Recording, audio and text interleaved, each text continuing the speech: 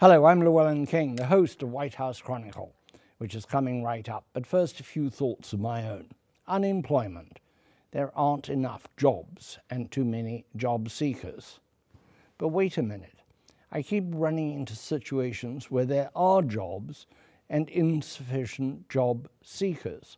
I've just been out recently giving a talk to the Association of Companies that provides services to electric utilities, poles, wires, trenches, big construction, little construction, etc. And as I usually do before I have a luncheon address, I like very much to uh, ask people what it is that, uh, that they're uh, uh, uh interested in, what are the issues in their industry.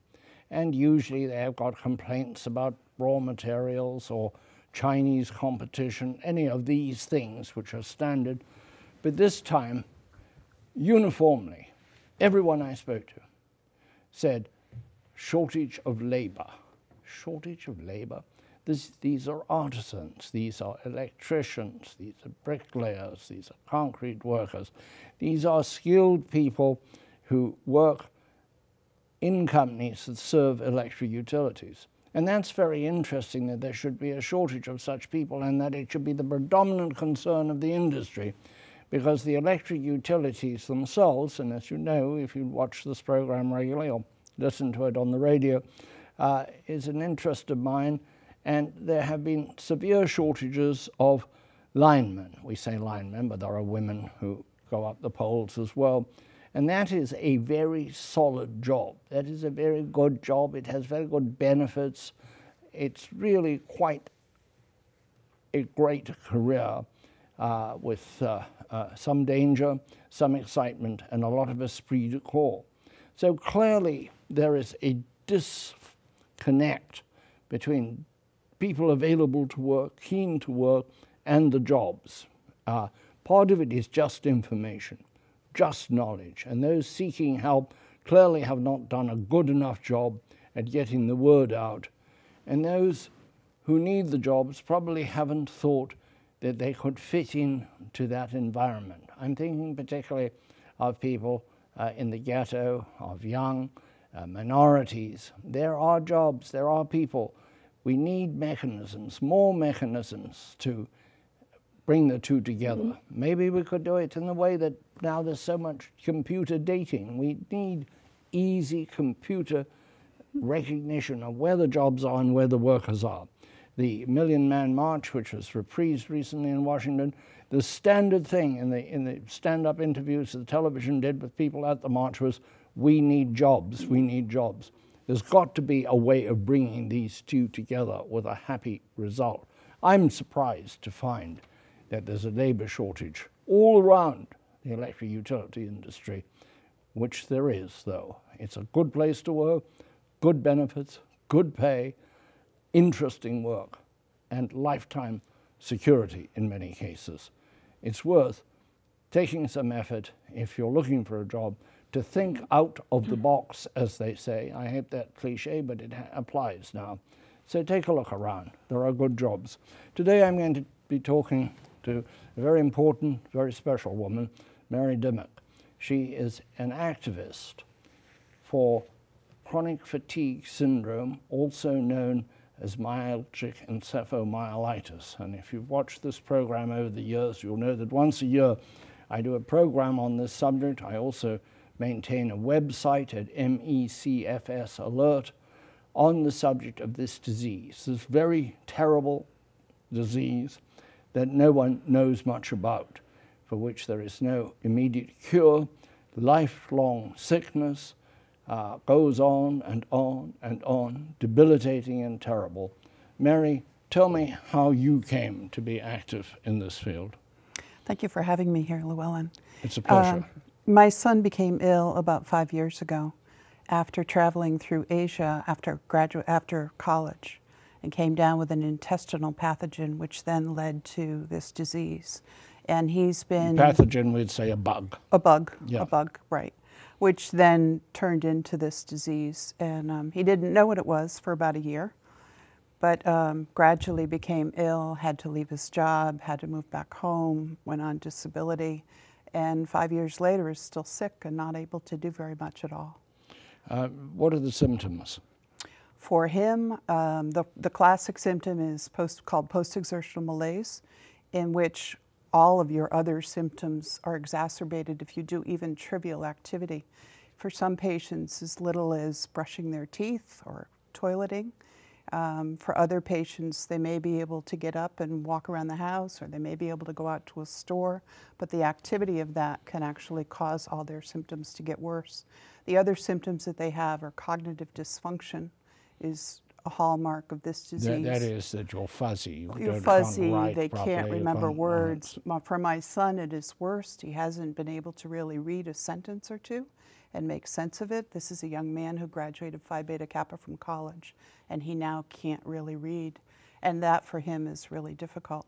Another symptom is orthostatic intolerance, where if they stand up, even just sitting down, their blood pressure can get out of control, their heart can race, and they have a difficult time managing their blood pressure. And there is no easy way of saying whether you have this disease or if you have some other disease with similar symptoms No. that may go away, but in the case of this disease, they seldom, if ever, go away. Right. There are certainly no approved biomarkers. There are ways that uh, experts Let's in this disease diagnose biomarker is something the doctor can test for Yeah. and find out. Exactly, exactly. There are And some you, mostly biomarkers are found in blood tests or urine tests or blood tests, urine tests. There is uh, something called a tilt table test, which is used as a marker of orthostatic intolerance. So there are different ways that you can actually test. But in the medical society and the, in mainstream medicine, they don't use any tests at all. They look for the presence of fatigue. And this is actually part of what's created the controversy about this disease because there are no accepted ways to diagnose it. In the past, it's been a diagnosis of exclusion. This program, White House Chronicle, Mm-hmm. likes to include what the government's role should be. And the government's role here, by omission rather than commission, is very controversial. Am It's I correct? Very controversial. And it's been very controversial for many years.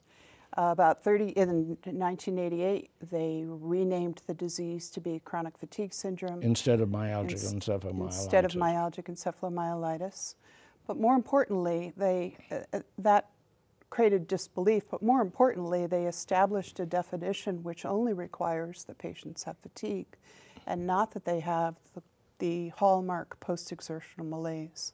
It also allowed patients to have primary psychiatric illness even if they did not have the post exertional malaise. And what that has done is created a waste bin, if you will, of a lot of Which diseases. part of the government made CDC, the, the Centers, Center, Center for for Disease, Disease Control. NIH also National was involved. Institutes of Health. Right. And who's researching this? Who's looking for a cure?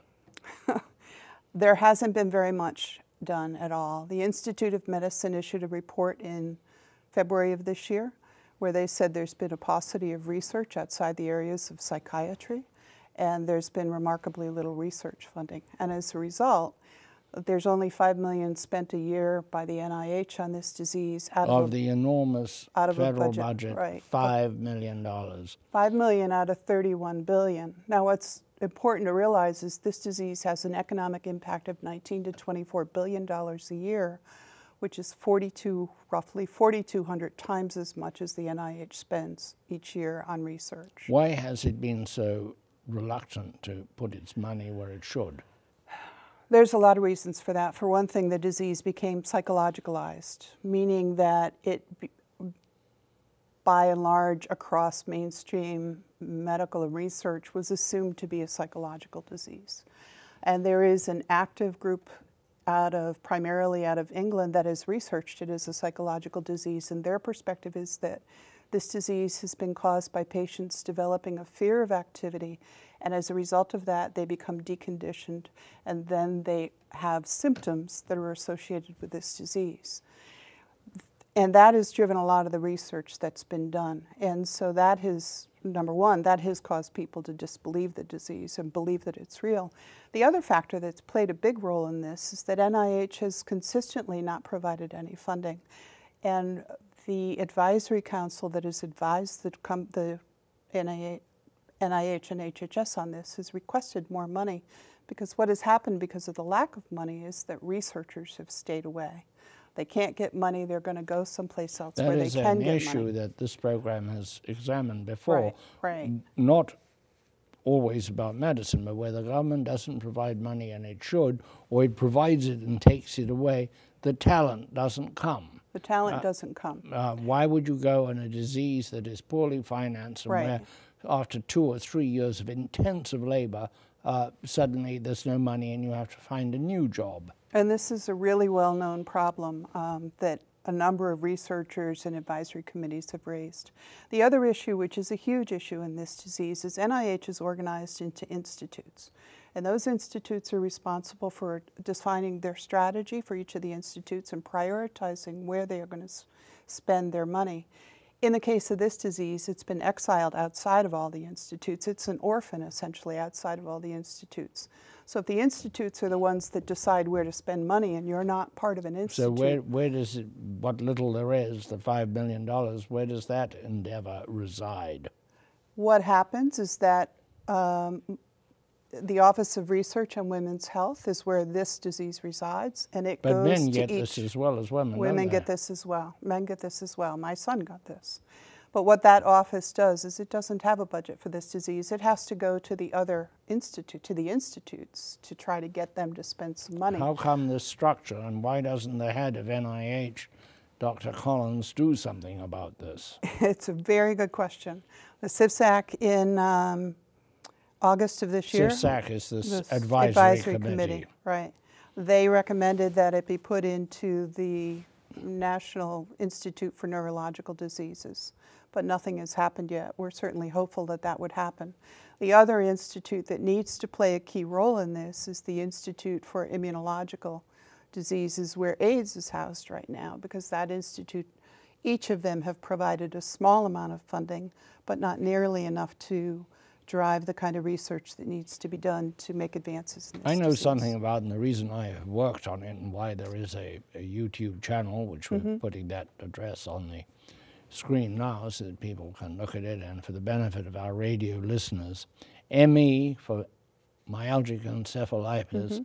CFS for chronic fatigue syndrome, alert for alert. Mm -hmm. uh, go and look. Uh, we've done more than 80 short films and you see some of the terribly sick people talking and some of the doctors who express their frustration, their difficulties. So I think you'll find it interesting if you're interested in how the government picks and chooses losers, and it's chosen this disease to be a loser for no known reason except that it's a difficult disease, and it has no lobby.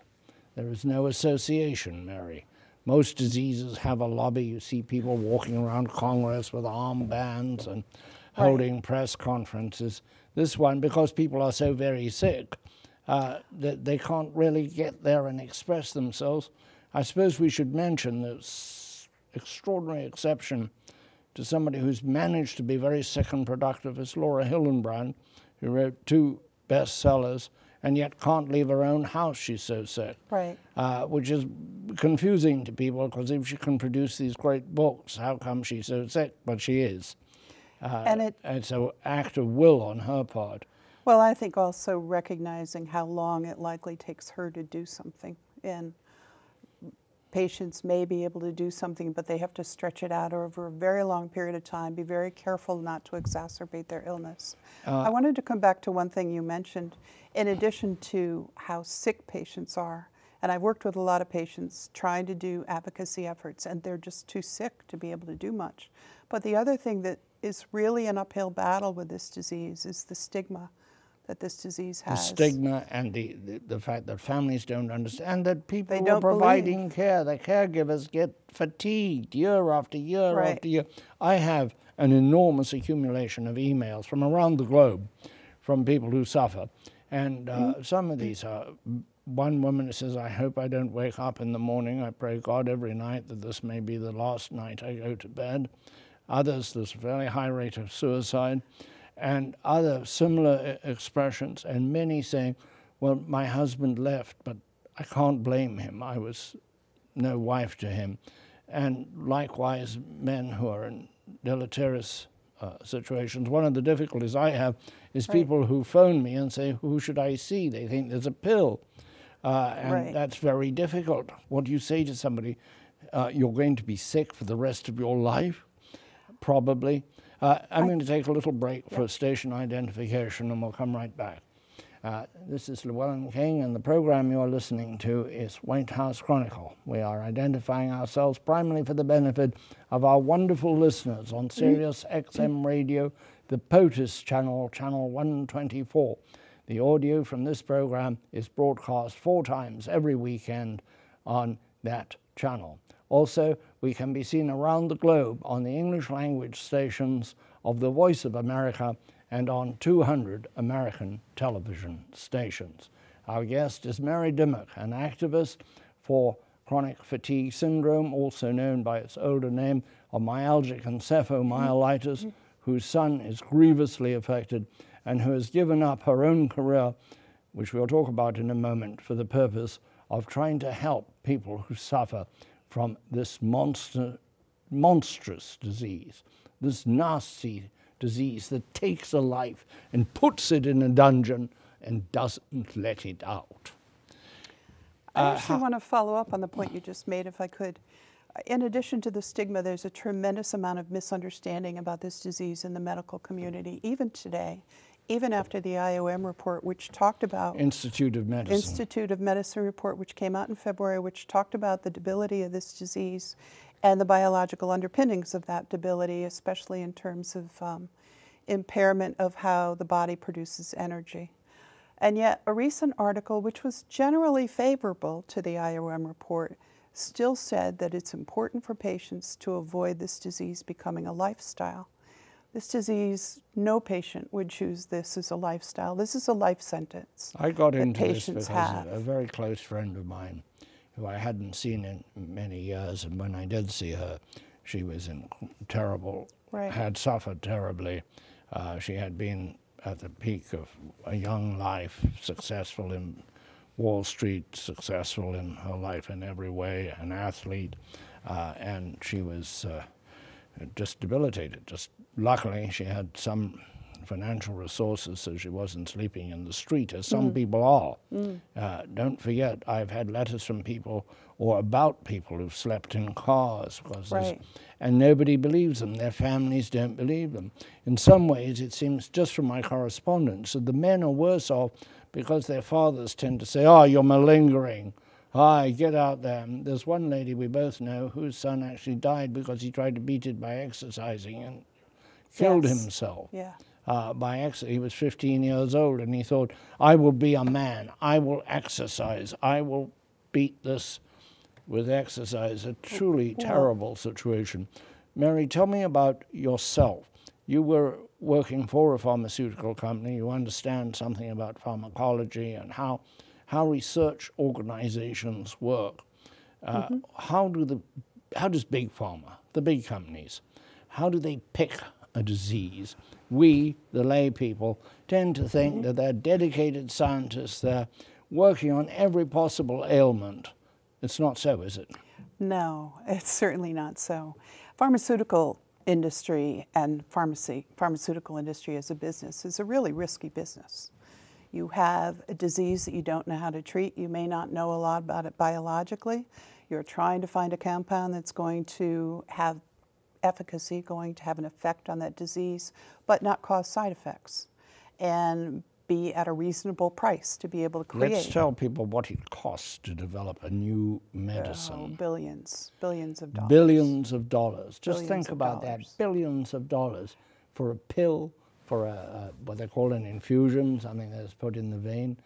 We take it for granted. We get it from the pharmacy. If it's for us, it might have cost billions to develop and to go through this testing procedure. And because be there have been terrible mistakes. Right. Years ago, I mean, more than 50 years ago, there was thalidomide, but I'm told the specter of that, that drug hangs over the pharmaceutical world because children were born without limbs. It was given to pregnant mothers, and it was just unknown, unanticipated, and disastrous for the pharmaceutical business. Well, and a drug can be killed, quote, killed at any point in the pipeline. So you can be very far along in phase two, phase three tr trials. Phase two, phase three being very, phase three, especially late stage prior to approval and have a drug killed. So it's a risky proposition. And at a meeting for this disease in 2013, um, the FDA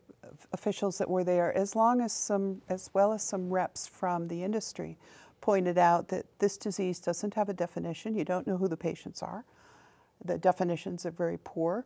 Um, you don't have a way of measuring, a defined and agreed upon way of measuring that the drug is actually causing an effect. It's called the outcome, a way of measuring the outcome.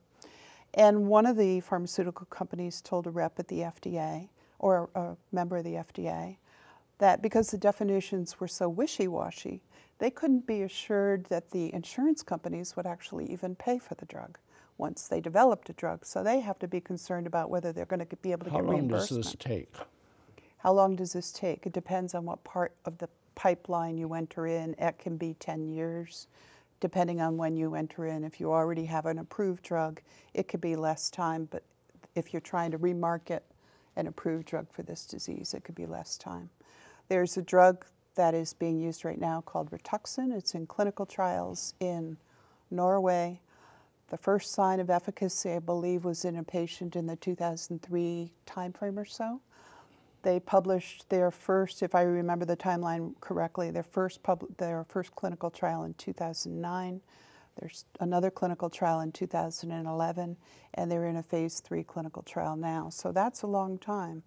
Now, they had to contend undoubtedly, I would guess, I don't know all the details on it, but getting funding for it. Um, but that was a cancer drug. that was, was, a cancer drug. So-called off-label use. Yes. Where it was found maybe to work for something other than for what it was developed and prescribed. The actual original patient had a, had a positive effect to another drug, which led them to try this drug. This is a cancer drug. It's also used in rheumatoid arthritis. There's one other drug I've heard of, and, mm -hmm. and that's called Ampligen. Uh -huh. uh, I know several people and uh, who are helped by it and who cannot walk without it and can right. have a, it takes, you have to be close to one of the very few doctors who administers it and uh, um, you have to have I think it's two hours a week or something to get this drug right. by infusion. Right. Um, I've been to one of those clinics and seen the patient sitting there with the drip. But there are only about 100 people in the whole country getting it out of uh, maybe a million sufferers. That is appalling. Why isn't Ampligen more generally available? Well, Ampligen is not approved, so you can't get it even off-label yeah. from anybody. You have to go to certain clinics because of the way it's administered, it's an infusion every week you have to go. So, and I think it's twice a week actually. Um, twice a you week, have yeah. to move to a location where yeah, that exists. There are people who've moved to, to, right, and sometimes without their family to Nevada to because there's a doctor there, Dr. Right. Daniel Peterson, a, right. a hero in this industry.